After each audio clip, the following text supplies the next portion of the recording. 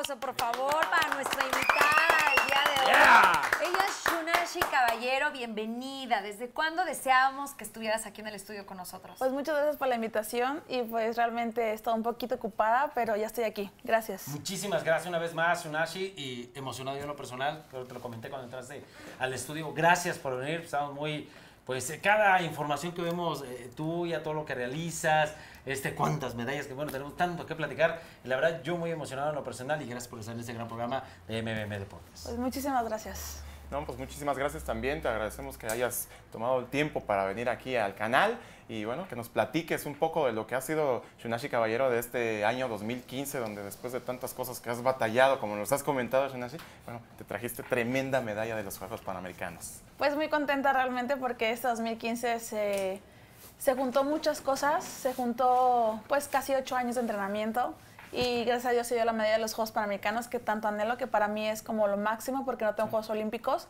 Entonces mi medalla olímpica realmente es mi medalla de Juegos Panamericanos y muy contenta por ello, porque pues como dices, después de, de pues muchos obstáculos, de muchas cosas, uh, gracias a Dios todo salió bien.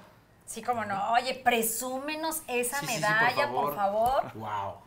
Mira eso. ¿A quién está en la cámara 1? Ajá, en la cámara 1. Ahí está. Oye, pues qué orgullo, Gustavo. Sí, claro que sí. Bueno, pues si nos, si nos regalas la, la, imagen, mira, ahí está. Eso, ahí, ahí, ahí, está, ahí está, es, ahí está. Venga, platícanos la historia, por favor, de esta medalla. Por favor. Pues después de los Juegos Centroamericanos, eh, yo quedé plata también como saben en los Juegos Centroamericanos de Veracruz el año pasado. Este, hubieron complicaciones porque pues no gané la de oro y pues estuve como en controversia en la, eh, pues con la federación y así. Y pues se volvió a hacer un proceso de inicio en enero. Eh, me mandaron a hacer pruebas físicas, tuve que volver a ganar el nacional y ganar el nacional bien, sin alguna duda de que pues hubiera uh, la segundo lugar tuviera chance de ir. Entonces nada, gano el nacional, empieza la gira y yo sabía que tenía que pegar una medalla en el Panamericano y en la gira, porque yo tenía de que no, pues que, que no lo iba a volver a hacer, porque pues más que nada por, porque pues no gané la de oro en los Juegos Centroamericanos. No. Entonces eso fue para mí malo porque era esperar la de oro para yo tener la clasificación claro. directa. Entonces prácticamente tenía que ganar todo. Tuvimos casi cuatro o cinco fogueos, de los, de los cuales gané cuatro y un bronce. O sea, fueron puros oros y un bronce y eso me dio la oportunidad de estar segura para los Juegos, Centroamericanos, Juegos Panamericanos. Perdón. Y bueno, también coméntanos un poco de lo que fue esa, entrenar ya para prepararte para esos Juegos Panamericanos donde bueno, siempre tu hermanita te acompaña y también sí. ha sufrido contigo para poder prepararse. Así es, pues al principio de mi preparación, cuando yo regresé del CENAR, yo regresé aquí a Oaxaca en el 2012, enero del 2012, entonces prácticamente entrenaba yo sola.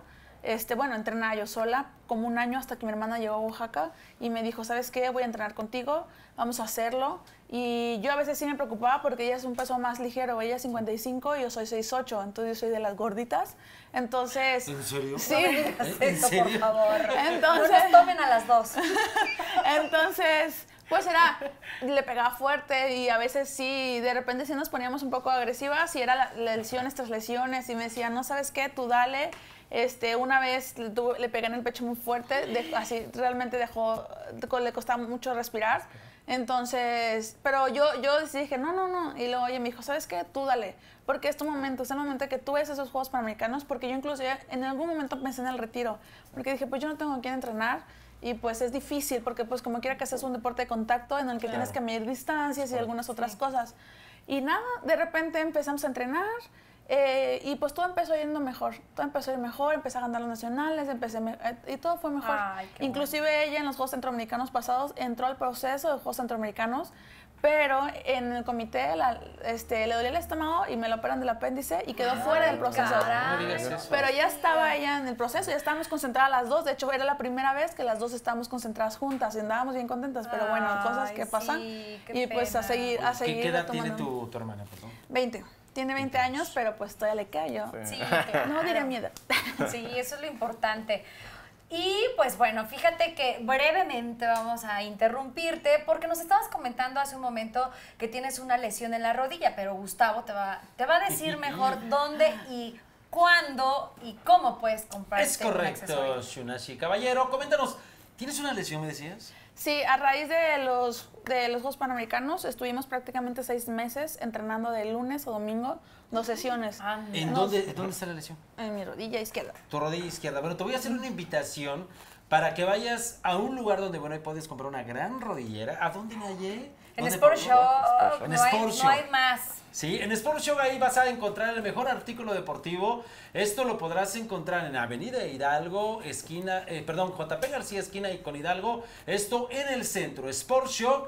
Ahí encontrarás lo mejor en artículos deportivos y para esa lesión que tienes, Yunashi, yo digo que te des una vueltecita porque ahí están los mejores precios en, con respecto a los artículos deportivos. Igual, igualmente venden, bueno, todo lo que tú utilizas, todos los implementos eh, de- Así es. del karate. Bueno, pues ahí está. Vaya usted nada más y nada menos que a Sport Shop. Así es, mi Gus, y porque sabemos que Shunashi, su hermana, y todos aquí en el estudio tenemos un corazón muy noble, Teletón Abierto los invita a que conozcan las instalaciones del CRIT Oaxaca. Vaya usted en un horario de 8 a 3 de la tarde, o puede usted comunicarse al 502 1100. De verdad, usted tiene que ir a visitar para que conozca toda esta labor con mucho esfuerzo que se hace en el Teletón Abierto. Así es que usted conozca las instalaciones del CRIT Oaxaca. Ahí está la Así es que información, así es Continuamos con Sí, Shunashi, por favor. Y sobre todo para que nos platique de lo que es ahora esta nueva etapa con el dojo, ¿sí? Shunashi. Así es, pues muy contenta realmente porque después de los Juegos Panamericanos abrí, abrí, como bien saben, la semana pasada mi dojo, abrí Junior Olympic y ahorita ya somos aproximadamente 25 niños en que estamos muy contentos porque de ellos la mitad va a ser para competir, los vamos a entrenar para la Universidad, la Universidad Nacional, para la Olimpiada Nacional y pues para eventos que pueda haber como federación. Y realmente estamos muy contentos porque todos están muy animados, no me faltan a entrenar, muy puntuales y yo creo que sí me han aguantado, por lo menos una semana ya vamos bien y muy contenta porque yo sé que soy la única oaxaqueña que fue a los Juegos Panamericanos, pero ahorita ya espero que haya más. Exactamente. Y bueno, ya por último, el cuerpo de trabajo con el que estás ahorita en este dojo. Así es, pues ahorita somos eh, entrenadores a cargo, está Fernando Sánchez, está Saraí Caballero, que es mi hermana, son- y estoy yo. ¿Podrá servidora. pasar rápido su hermana para que la conozcan? ¿Podrá pasar? Sí, ya para que despedir. ¿Habrá oportunidad? ¿Sí me dan el chance? Sí, rapidito, Pásale, por por favor, porque están hablando maravillas de ti. Este, yo sé que no tienes micrófono, te voy a pedir la oportunidad más que hables un poquito fuerte. Gracias de verdad por estar y acompañar siempre, por lo personal he escuchado que siempre te acompaña tu hermana. Bienvenida y muchísimas gracias. ¿Cuál es su nombre? Saray Caballero. Ella es Saraí Caballero y ella también está en el gym precisamente de aquí de Shunachi Caballero. Bienvenida y muchísimas gracias. Bueno, entonces, los horarios que tienes. Eh, de 4 a 5 de la tarde niños, de 5 a 6 adolescentes, de 6 a 8 mi equipo que quiera competir y de 7 a 8 de la mañana también. Perfecto, pues ahí está la invitación, público querido. Usted asista con los profesionales. Nosotros, ¿qué más quisiéramos seguir? Pues platicando aquí con nuestras invitadas de lujo, pero ya será en otro próximo programa. Es ¿no? correcto, y ojalá y puedan acompañarnos y ahora sí platicar con Sa- Saraí Caballero porque vemos que también tienes gran historia. Pero bueno, ¿y qué creen? ¿Qué? Ya terminó, público querido. Muchísimas gracias por iniciar otra semana con nosotros. Muchísimas gracias, Shunashi. Muchas gracias, Gracias. Gracias, Pablo. Claro que sí, gracias. Y pues estamos eh, viéndonos en MBM Deportes. Claro que sí. Gracias. Bueno, pues igualmente, gracias Pablo, gracias Nayeli, gracias a nuestros invitados. Recuerden que Guerreros de Oaxaca y el béisbol es lo máximo. Hasta pronto. Adiós.